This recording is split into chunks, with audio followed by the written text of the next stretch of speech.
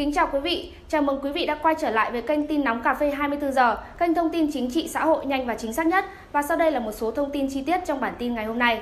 Thành phố Hồ Chí Minh chi hơn 90 tỷ đồng tăng kết nối metro số 1. Hội đồng nhân dân thành phố nhất trí chi 93 tỷ đồng để cải tạo vỉa hè, xây các trạm dừng quanh các nhà ga để tăng kết nối metro số 1 và các tuyến xe buýt. Nghị quyết về chủ trương đầu tư dự án kết nối các tuyến xe buýt với tuyến metro số 1 Bến Thành Suối Tiên được các đại biểu thông qua tại kỳ họp thứ 5 Hội đồng nhân dân thành phố Hồ Chí Minh khóa 10 chiều 7 tháng 4.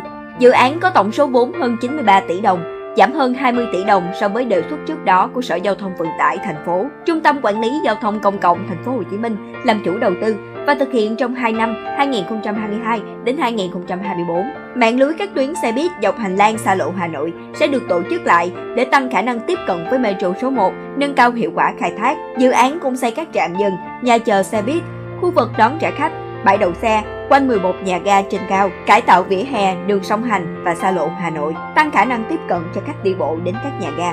Cảm ơn các bạn đã theo dõi video kênh tin nóng cà phê 24 giờ. Chúc các bạn một ngày tốt lành. Đừng quên nhấn like và đăng ký kênh để nhận những thông tin mới nhất nhé. Xin chào và hẹn gặp lại.